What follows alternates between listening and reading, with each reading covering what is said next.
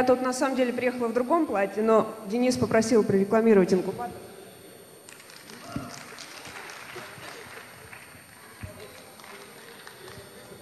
Теперь к делу. Последние несколько лет я занимаюсь тем, что привлекаю деньги в э, молодые компании, в основном государственные. Поэтому я привыкла говорить, что наша служба и опасна, и трудна, и на первый взгляд как будто не видна. Вот. Но на самом деле мы за три года привлекли достаточно много инвестиций. А почему государственные? Потому что в основном это гранты, это позволяет не размывать а, капитал, а, не размывать доли в компании, и это очень выгодно. Но это очень сложно, потому что а, наверняка многие из вас представляют, какое количество документов надо заполнить, а, что бюрократы, которые принимают решения, это даже не венчурные капиталисты, их убедить еще сложнее. В общем, всю бюрократическую сложную работу мы берем на себя, и при удачном стечении обстоятельств, в общем, находим стартапам бесплатные деньги, как мы это называем. Работала я в России, и а, за три года, наверное, через меня прошло не меньше 15 тысяч проектов, потому что мы активно работали с Зворакинским проектом. Там были компании не только и не столько в интернет-бизнесе, сколько в других э, секторах. Вот, поэтому мы, в общем, многое повидали, есть чем сравнивать.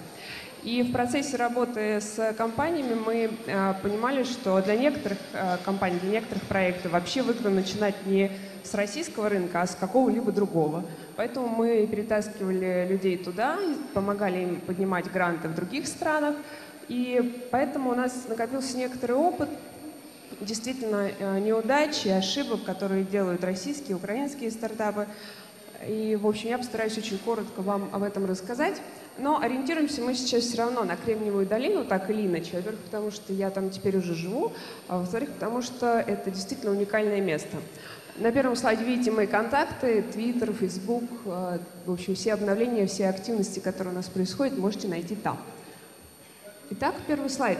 Собственно, почему есть хорошие э, компании, хорошие идеи, они, может быть, уже даже успешные, некоторые из них вышли на безубыточность, некоторые из них даже прибыльные, но не все инвесторы хотят в них вкладывать деньги. Вот. И это такая большая проблема, потому что Казалось бы, вот наши доказательства, что мы хорошие, а денег вы нам все равно не даете. Почему это происходит? Давайте посмотрим. Вот статистика за три года а, трех а, больших регионов США, Европа и Израиль.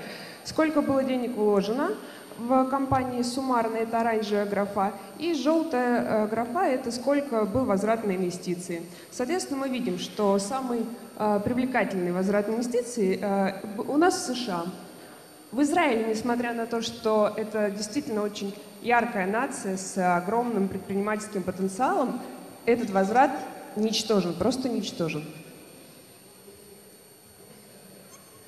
А почему инвесторы из Кремниевой долины, да, инвесторы американские, не хотят вкладываться в проекты э, из других стран, ну, в частности, России Украина, да и, в общем, очень много стартапов там местных, которые точно так же не поднимают инвестиции.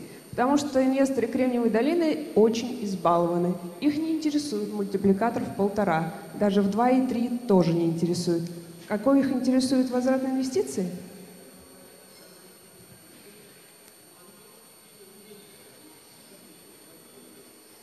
Вот такой. Поэтому, если вы приходите с э, возвратом инвестиций меньше, скорее всего, с вами не будут разговаривать. А как понять, какие проекты интересны американским э, инвесторам? Вот четыре проекта из э, топ-25 проектов на конец 2011 года, которые находятся, которые очень в тренде, и все специализированные ресурсы настоятельно рекомендуют за ними следить. Первый проект буду слева на право сверху вниз говорить. Первый проект э, Keep – это сервис, который намерен зарабатывать на продвижении товаров со скидками среди игроманов. То есть вы наверняка знаете, что игры в соцсетях и вообще игры на мобильных устройствах – это просто панацея. Соответственно, это некий такой новый группон, да, но вот исключительно среди игроманов. Что имеет, в общем-то, место на существование – это очень молодой предприниматель, ему 19 лет, и он э, успел привлечь инвестиции от пяти фондов на общую сумму 4,3 миллиона долларов. Чуть-чуть съехала, сори. Второй проект наверняка известный вам, это Udemy, потому что э, существующий проект работает достаточно хорошо. Это онлайн-курсы, это очень, кстати, перспективная тема в США. Очень много просто активистов, и даже Стэнфорд переходит на э, онлайн-обучение, и MIT переходит на онлайн-обучение. Да? И, собственно, вот этот сервис сделал очень простую модель. Любой тренер может загрузить туда презентацию в разных форматах – и затем э, вы можете скачать эту презентацию за деньги, а лектор э, получает, собственно, свое, свое вознаграждение, а сервис получает свою комиссию. Следующий проект а, «Нижний правый угол». Это Шон Паркер, достаточно известный предприниматель в США. Что он сделал? Все помнят ресурс chatroulette.com. Помните такой ресурс? Помните, как э, много было разговоров, когда его создатель Андрей Терновский отказался встречаться с Юрием Миллером и не взял инвестиции у него? Вот напрасно он это сделал, потому что, недолго думая, Шон Паркер сделал совершенно аналогичный ресурс, который отличается только тем, что авторизация в него происходит через Facebook. Собственно, все. На сегодня а, в этот ресурс уже вложился не только Юрий Мильнер, видимо, не забыл свою обиду на Терновского, но еще и Эштон Качер и э, Ирон Конвей. Соответственно, этот проект имеет большие шансы на успех. И последний проект на этом слайде, проект Wonderful. Его также создал э, предприниматель со стажем Джон Пойсон.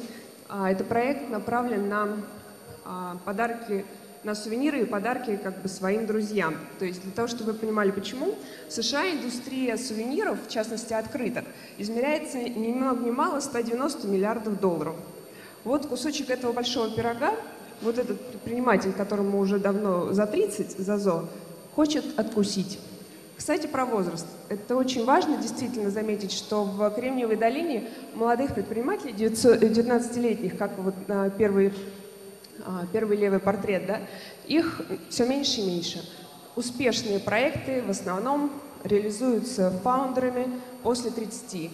А, в нашем портфеле 75% фаундеров 35-44 года.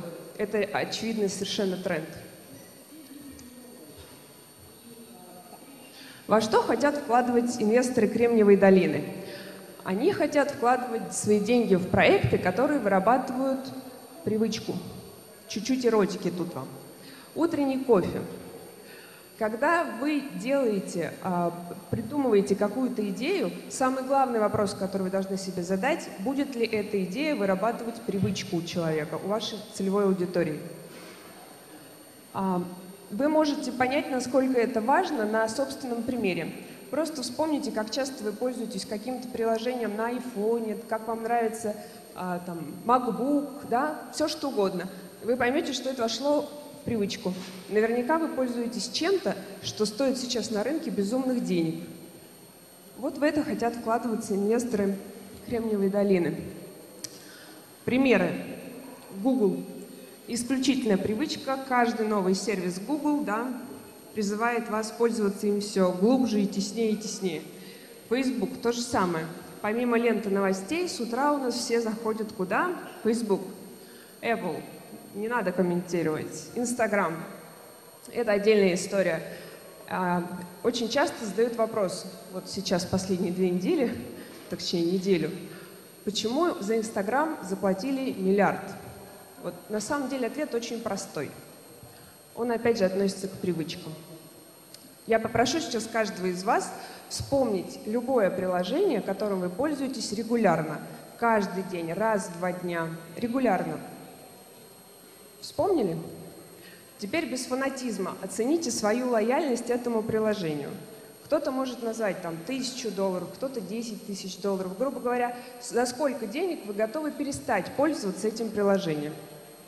Ну, давайте возьмем 100 долларов, чтобы вы себя не переоценивали.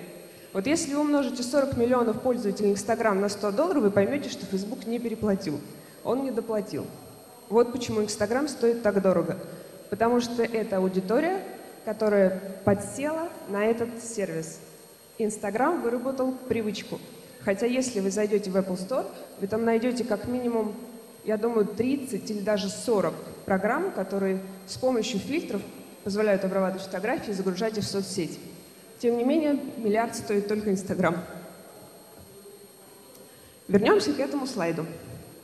Почему все эти проекты успешные, сконцентрированы в Кремниевой долине?